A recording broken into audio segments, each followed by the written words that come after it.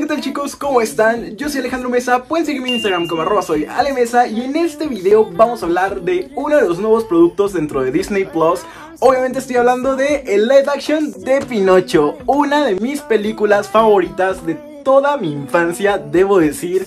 Y básicamente este video es una crítica review rápida, mi punto de vista como fan, mi punto de vista como especialista en el cine. Y básicamente si vale o no vale la pena ver esta nueva versión de Pinocho. Spoiler alert, vale muchísimo la pena, de verdad tienen que verla.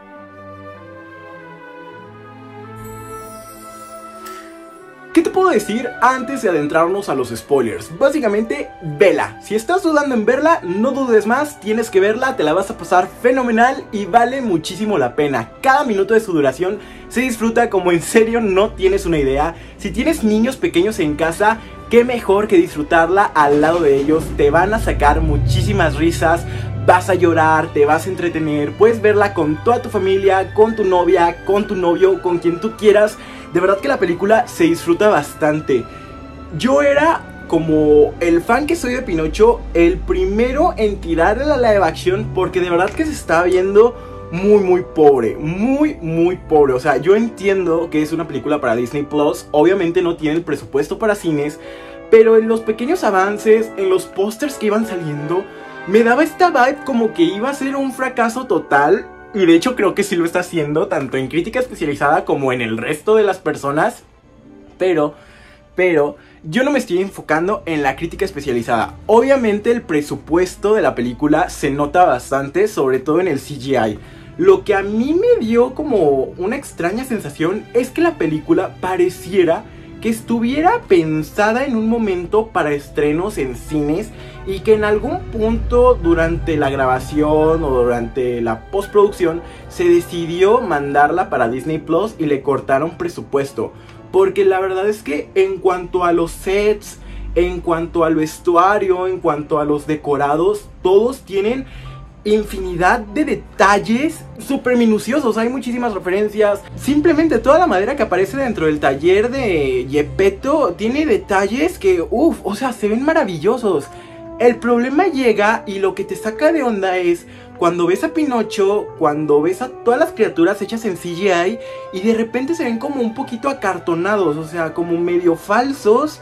Sé que es parte de la fantasía, pero como que se rompe mucho, o sea, se rompe mucho porque para empezar, Pinocho ni siquiera pareciera que es de madera, pareciera que es como de cartoncito. Y es que todos parecen de cartoncito. y es un poco parte de, o sea, obviamente no tiene el presupuesto para cines, no van a tener un CGI fenomenal, pero sí hay momentos sumamente rescatables y se disfruta muchísimo. O sea, es una película con muchísimo color, con muchísimo corazón sobre todo, que es lo que más se nota y lo que más le estoy aplaudiendo. El hada, toda la polémica con el hada azul siendo negra pues sí, es una criatura que no existe. Estamos acostumbrados a verla rubia, blanca. Y pues así, a muchos les hubiera gustado que hubiera sido Dob Cameron. Me incluía en ese momento dentro de esos retractores. Pero ya viendo el producto, la verdad es que el hada azul de esta versión live action cumple súper bien. Le recortaron una de las escenas dentro de la película, pero le agregaron una escena musical que está fantástica. E igual, o sea, el diseño creo que está muy bien hecho, pero sí que faltaron algunos detallitos en el tocado final.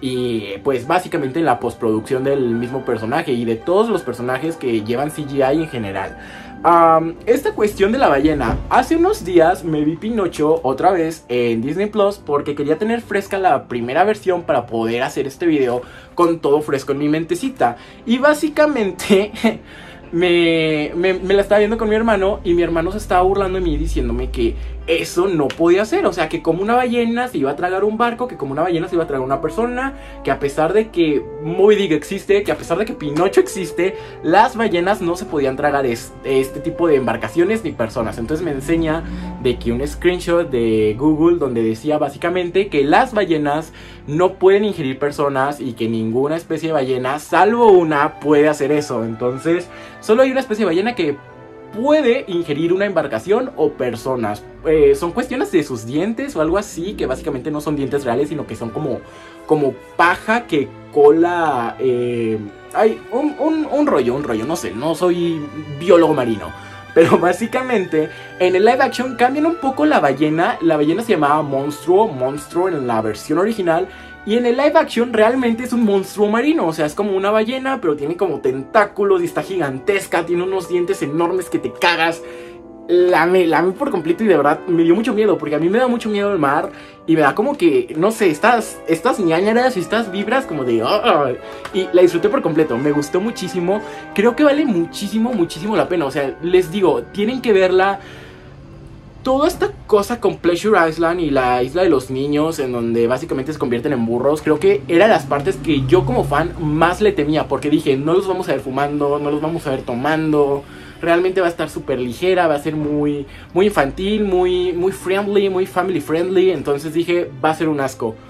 Todo lo contrario, o sea, toda la atmósfera que crean para Pleasure Island desde que van en camino a la isla es totalmente tétrica y sombría. O sea, y no a nivel de que va a traumar a un niño, pero sí a un nivel como que te empieza como a inquietar, como que sabes que algo no va a salir bien ahí y el punto cuando llegan a Pleasure Island es que supieron retratar perfecto un paraíso ideal para cualquier niño. O sea, golosinas a más no poder, que no haya adultos, poder romper lo que ellos quieran.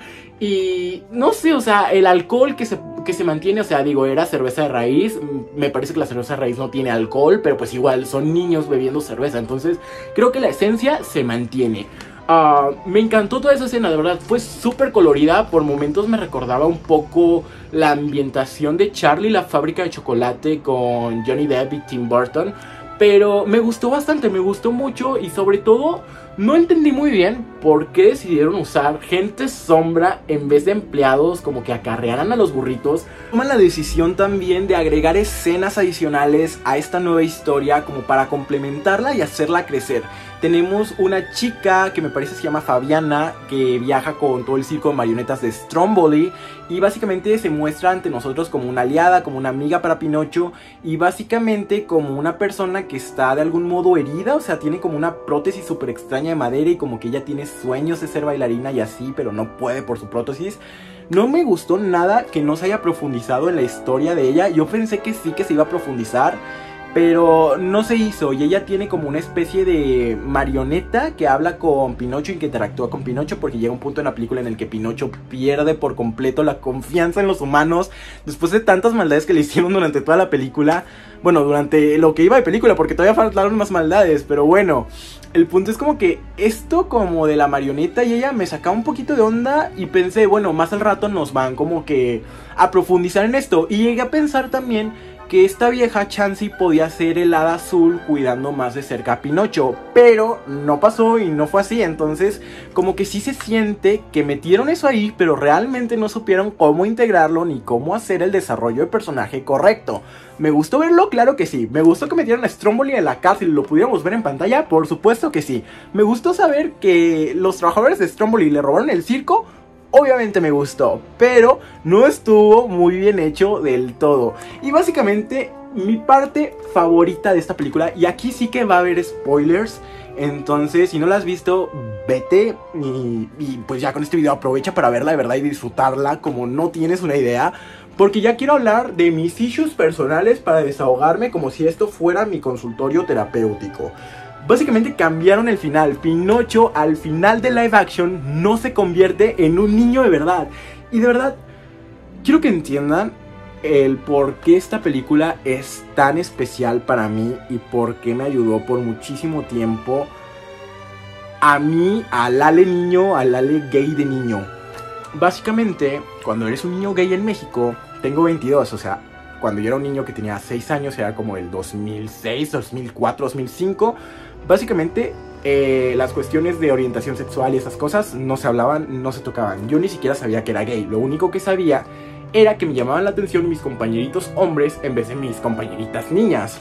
Y básicamente, toda mi puta infancia sentí que había algo mal en mí y que de algún...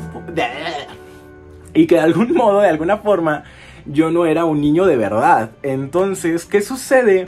Yo veo Pinocho por esos años me encanta la historia, me enamoro del personaje, me identifico con Pinocho porque pues es un niño confiado, que miente porque se le hace fácil, que confía y le sale mal todo, entonces súper iluso. Y yo soy así hasta la fecha, iluso, confiado, me engañan a cada rato, no de que en relaciones, sino personas en general. O sea, miento y... y, cagado soy Pinocho. El punto aquí es, yo veo de niño y digo, Pinocho no era un niño de verdad, pero se esforzó, fue bueno, al final le cumplen su deseo de ser un niño de verdad. Entonces, ¿qué hace el Ale niño cuando es un niño?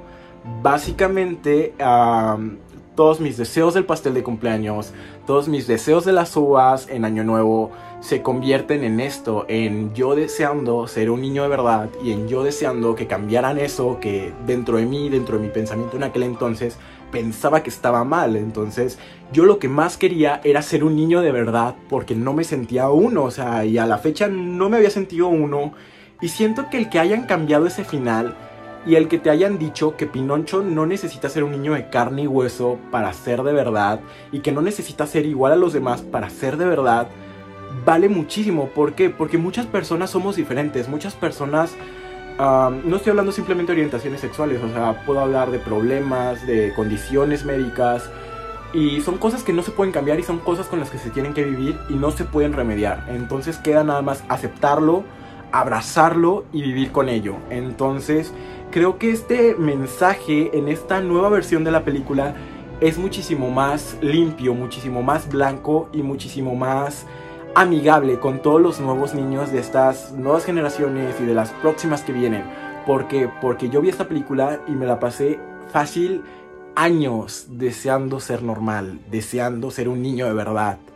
Y en esta nueva live action me vuelvo a identificar con el personaje, me vuelvo a identificar con todo lo que le pasa, pero entiendo que yo ya soy un niño de verdad, no importa que yo piense que esté mal dentro de mí, no hay nada mal dentro de mí. O sea, yo ya soy una persona de verdad, un niño de verdad, y yo ya valgo por el mero cariño que me tiene mi familia, que yo le tengo a mi familia y a las personas y amigos que me rodean. Entonces, creo que la amé por completo. Obviamente tiene sus fallas, siento que sobre todo en el personaje de Pepito Grillo se la bañaron por completo, o sea, lo hicieron un inútil en muchas escenas en donde pudo haber sido muy importante y como que siempre está descuidando todo el tiempo a Pinocho y eh, aquí en la versión original Pepe Grillo siempre estaba al rescate y bien rápido, entonces como que no me gustó del todo esto, pero bueno, le dieron más protagonismo al mismo Pinocho, entonces estoy completamente satisfecho con eso. Pero pues sí, o sea, les digo, vean esta película, de verdad me gustó muchísimo, ya hablé de mis issues personales, entonces ojalá este video no vaya a ser un flop. Si no, de todas formas, pues lo subo a TikTok y a Insta, pero ojalá que no sea un flop. Yo soy Alejandro Mesa, pueden seguirme en Instagram como arroba soy Alemesa y yo los veo en otro video. Adiós.